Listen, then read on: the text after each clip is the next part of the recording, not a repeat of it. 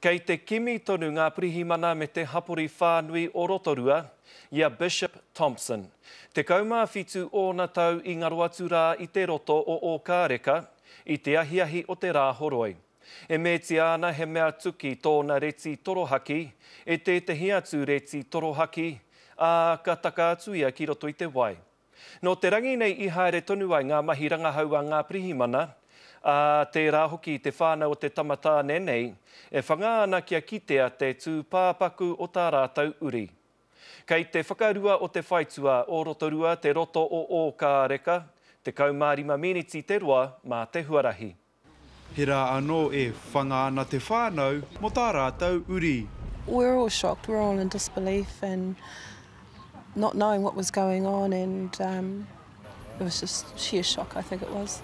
Ko Daphne Wītoko tētahi o ngā whaea kēkē o Bishop Thompson, te tama tāne 17 ōna tau i ngaro i tēnei roto ina tahi rā.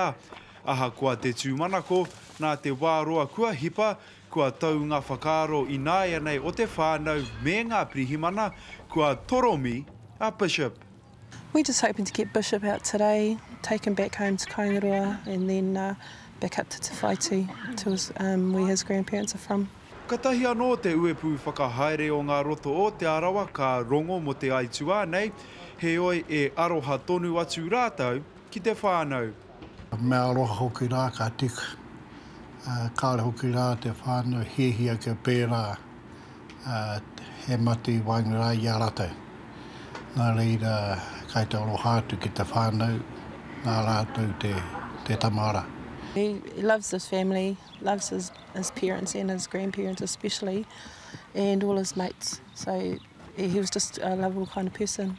Kua kati, Tēnei roto i tēnei wā, ā, ko te whakapae o ngā pirihimana, mena ka pōturi te haere o ngā mahi rukuruku, ka kati anō mō te rua wiki.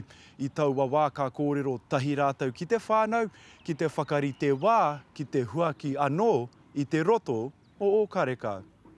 Hei te kitenga o te tūpāpaku, ka whakatūria he rāhui. He ta Gardner te karere.